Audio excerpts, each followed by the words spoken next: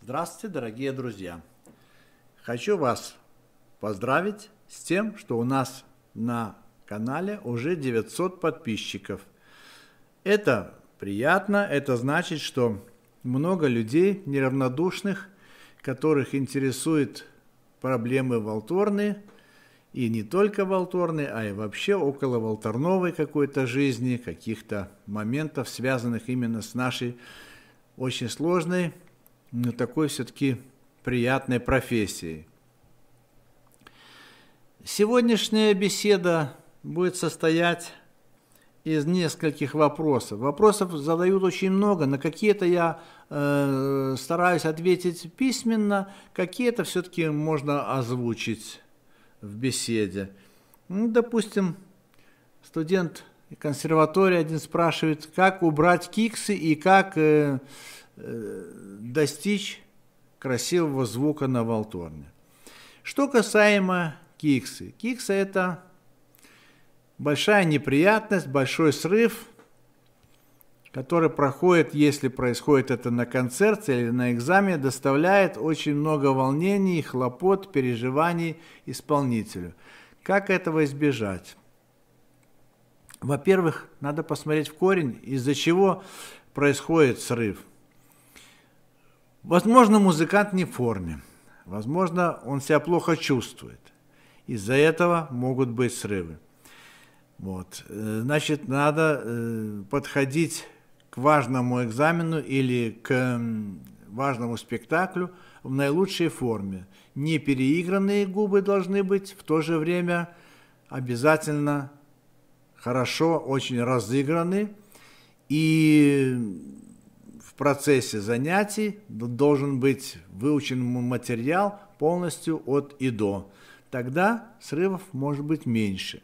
Потом, все-таки мундштук на волторне сугубо физиологически получается, что маленький мундштучок и три октавы, а, три с половиной метра длина трубок волторны. И поэтому вот здесь все эти нотки находятся рядышком, довольно сложно попадание на них. Значит, нужно всегда иметь в виду, э, что нужна большая концентрация. То есть, если ты готовишься к извлечению какой-то ноты, ты не можешь вот так вот сразу схватить и сразу играть. Это заведомо сразу будет или кикса, или еще вообще неизвестно, что вообще не та нота будет. Всегда в любом спектакле лично я за два такта до своего выступления уже поднимаю инструмент и держу его. То есть я уже вживаюсь в темп, в образ, в динамику того, что звучит вокруг. Слышится интонация, уже ты сидишь, как говорится, полностью готов э, к работе, к тому, чтобы вступить. Это снижает риск попадания мимо ноты.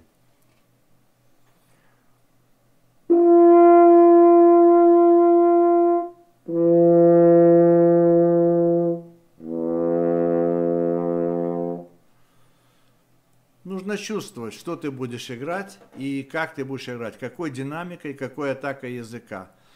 Вот, это то, что касается так называемых кикс. Но никто не застрахован. Даже наши самые большие музыканты, вот я читал э, статью э, Радека Баборака, интервью с ним, где у него корреспондент спросила, а часто ли вы кексуете? Он сказал, все возможно. Никто, не все ходим под Богом, никто никогда заранее не знает, где у него может произойти, так сказать, срыв какой-то.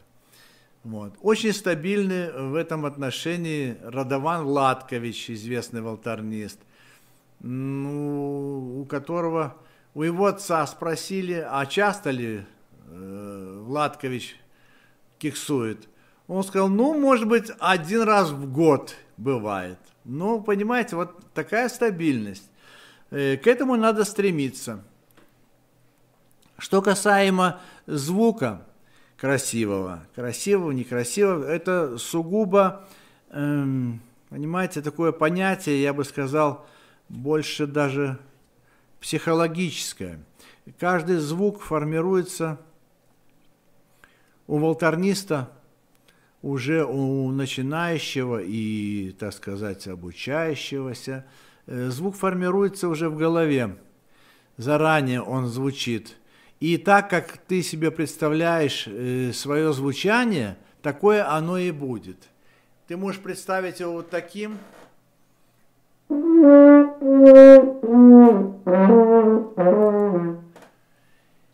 И сказать сам себе, ух, как красиво, как мне нравится, как хорошо. И так и будешь играть, и тебе будет казаться, что это на самом деле очень классно. То есть твое представление такое будет. Вот. А можешь сыграть, например, ну вот так.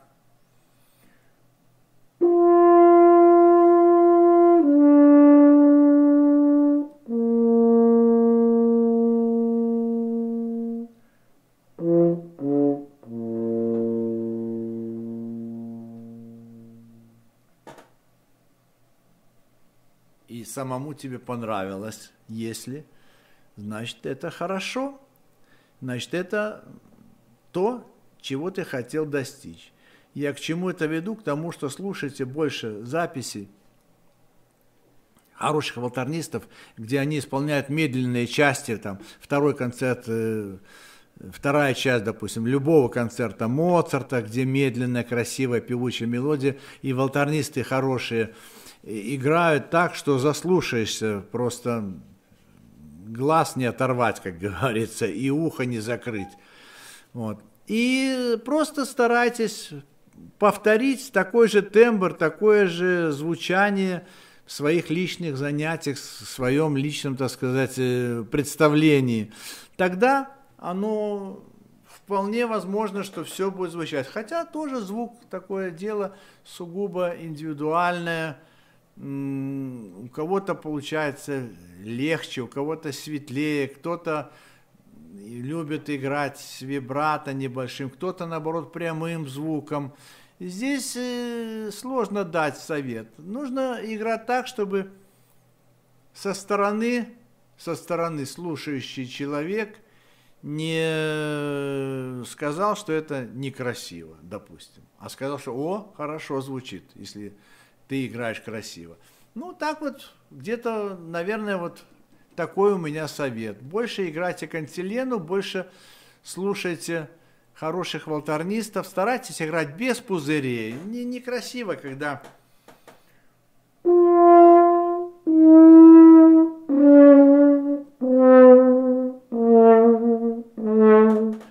пузыри, чрезмерная вибрато, это не, не, некрасиво, это совершенно не то сейчас время. Раньше, возможно, где-то там лет 70 назад, можно было играть с таким вибрато, сейчас нельзя. Но в то же время и совершенно э, неживой прямой звук мне тоже лично не нравится, который вот если просто вот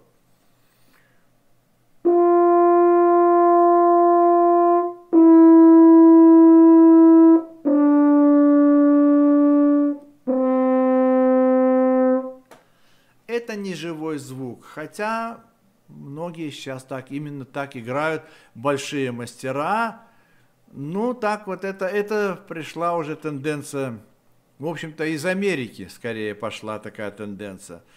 Но хорошие все волторнисты играют с небольшим легким вибрато. Где-то у меня там на нашем канале я давал уже э, совет по поводу вибрато и приводил примеры. Если кому-то больше интересно, то можете найти эту э, запись и послушать, как там я даю даже примеры, там, как играл Шапира, знаменитый советский волторнист, как вот, э, какой у него было вибрато, над которым сейчас многие посмеиваются, а в то время это было даже признавали за границей, что это величайший волторнист, понимаете?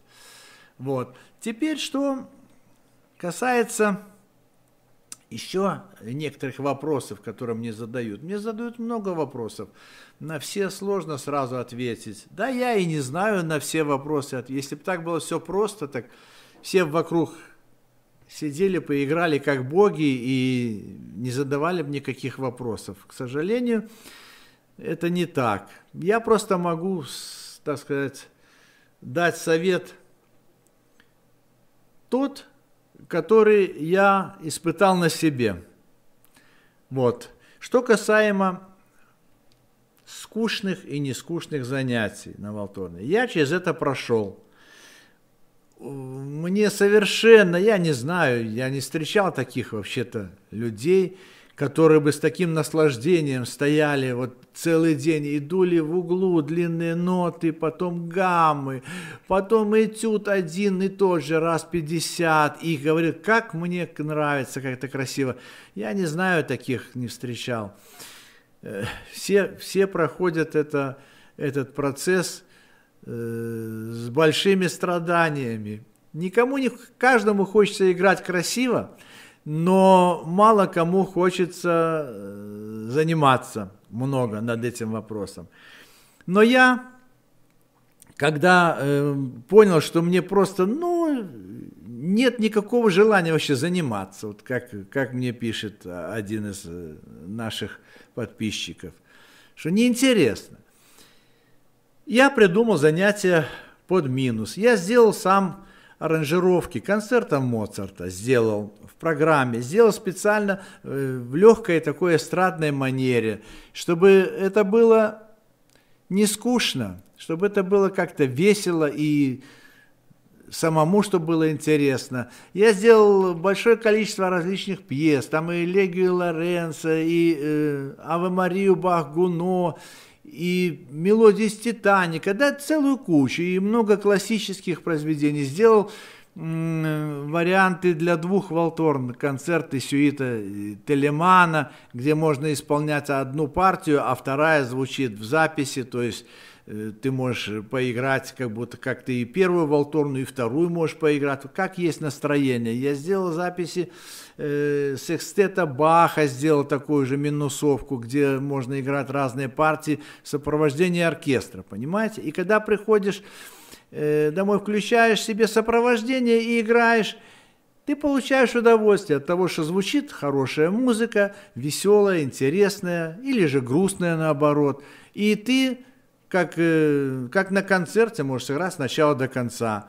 А что касаемо, допустим, молодого человека, там, ну, шестиклассника или там второклассника, ведь э, совсем будет другое ощущение, если он придет дома, поставит на э, аппаратуре включит минус какого-то там колыбельной Моцарта, сделанный э, заранее, и сам сыграет под это сопровождение, сыграет э, эту мелодию своей бабушки и с дедушкой, которые будут счастливы, они скажут, какой же настоящий у нас музыкант. Или же, когда он просто стоит и играет гаммы, и все говорят, боже, как ты надоел со своими гаммами, иди отсюда куда-нибудь в сарай, там занимайся. Понимаете, есть разница. И психологически тогда человек, э, ну, по-другому играет. Когда сначала до конца включает себе фонограмму, он играет как на концерте сначала до конца. Вот, допустим, я просто сейчас ради примера приведу маленький кусочек, ну, включу вот ну, допустим, Бах Ава Марию, просто вот э, показать, как это происходит. Конечно, звучание получается здесь совсем не то, микрофон у меня направленный, он снимает только то, что звучит с этой стороны, а со стороны колонок он не, не берет практически звук. Ну, э, приблизительно, так сказать, схему вы поймете сейчас, что я имею в виду. Вот я включил, сейчас пойдет э, фонограмма Авы Марии, Бах Гуно, и немножечко сыграю. Вот пошла фонограмма.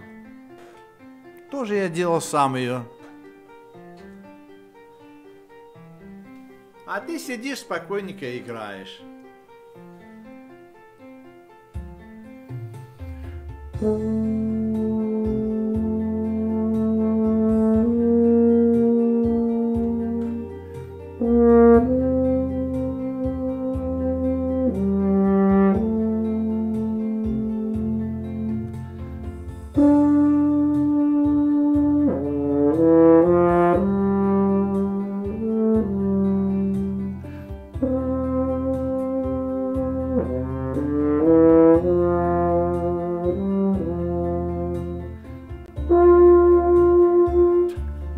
так далее. Не буду задерживать ваше внимание надолго. Выключаем. Выключаем фонограмму. Вот в таком плане, понимаете, и у меня этих пьес очень много сделано. Они есть у меня э, все ВКонтакте, на моем аккаунте, если кому интересно, мой контакт, э, там ВКонтакте есть э, страничка, там мои аудиозаписи, там минусов этих всевозможных несметное количество. То есть все, я, все в свободном доступе, я ни от кого это не прячу, всегда готов с любым поделиться, помочь, что касается этого. Что касаемо, допустим, ну, э, ну если играешь, конечно, э, такую пьесу можно сыграть открытым звуком, она не сильно подействует на соседа. А если ты играешь, к примеру, концерт Моцарта, то тут надо прикрыть, прикрыть раструб сурдиной, другого выхода нет. Если нет другого помещения, то э, на работе в театре у нас комната, там аппаратура, там можешь играть хоть целый день, сколько угодно. А дома, конечно, ты э, стеснен обстоятельствами. Понимаете? Поэтому я играю здесь под сурдину. Вот я вам сейчас покажу, как это звучит, допустим. Ну, третий концерт Моцарта немножко по поиграю, как звучит он э, с сурдиной. Какой это получается, ну, какой эффект получается. Так, сейчас, так, включаем. Начало сыграю открыто, потом поставлю середину. Вот.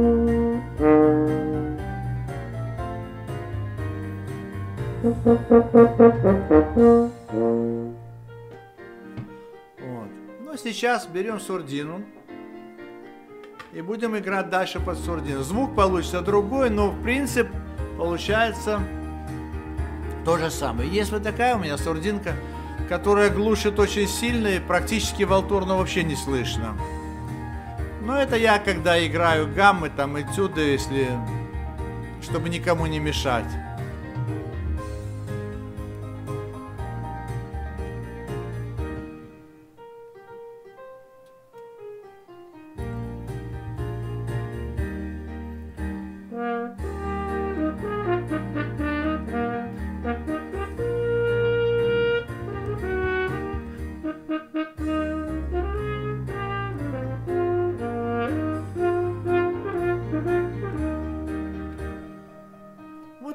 Происходит?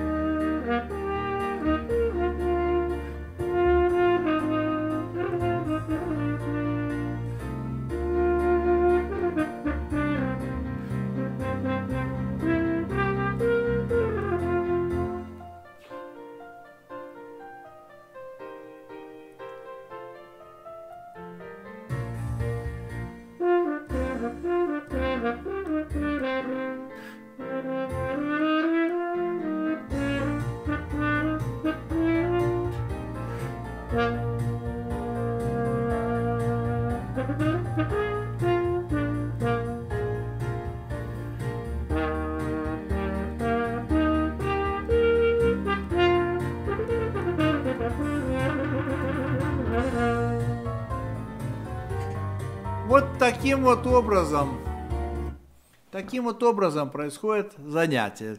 Э, вы можете применить это, допустим, наушники, одеть наушники хорошие и спокойно играть сопровождение в наушниках, если вы не хотите, чтобы дома гремели колонки, можно колонки делать тише, под сурдинку играть тише. То есть выход из положения я нашел такой. И еще один момент, который я не знаю – Стоит ли вам давать такой совет? Сразу скажу. Я очень люблю заниматься под телевизор. Очень странно. Почему?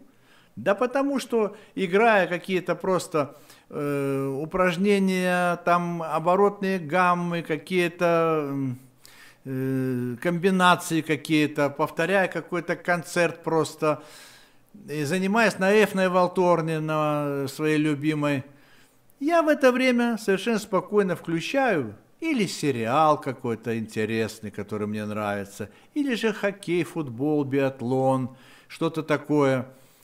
И совершенно без всяких мыслей сижу напротив телевизора, играю все подряд, все, что мне вздумается, и так можно целый день совершенно не напрягая то, что ты занимаешься, а сидеть и заниматься. Да, конечно, это ты не услышишь шикарнейшего качества звука, но атаку, аппликатуру, губы, диапазон, легато, стаката, все это нарабатывается до автоматизма, ты можешь совершенно спокойно, сидя на диване перед телевизором, и это очень даже и неплохой метод. Потому что так просто смотреть телевизор, это пустое время уходит впустую. А если ты смотришь телевизор, но в это время занимаешься, то ты получаешь огромную пользу, и у тебя хорошая форма всегда и хорошие губы. Но я опять хочу сказать, я вам этого не советовал. Это я так занимаюсь. А вам, может быть, это и не подходит совершенно. Вот, поэтому мой совет просто из моей личной практики – мне уже не надо работать над, э, э, над звуком, над тембром абсолютно. У меня уже ничего не изменится. Может измениться только все только худшую сторону. Так сказать, с возрастом у человека начинают всякие проблемы выходить. Но пока их я наоборот не замечаю, я буду заниматься так, как я считаю нужным. Вот такой совет. Это называется нескучные занятия на Волторне. Вот.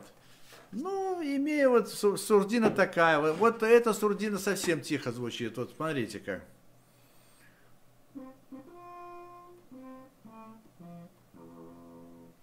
То есть звуки берутся, все играется, но она совершенно не слышна. Совершенно не слышна. Но это хорошо вечером, когда дома мои хотят отдыхать, родные, я могу сидеть в своей комнате, включив телевизор, и он глушит, телевизор глушит окружающие звуки. Получается, что тебя практически уже не слышно. Ты сам себя слышишь, ты нарабатываешь все равно, технология вся остается. Это довольно интересный момент, который, я считаю, что имеет право на существование в нашей повседневной жизни. Ну вот все, что я хотел сегодня сказать.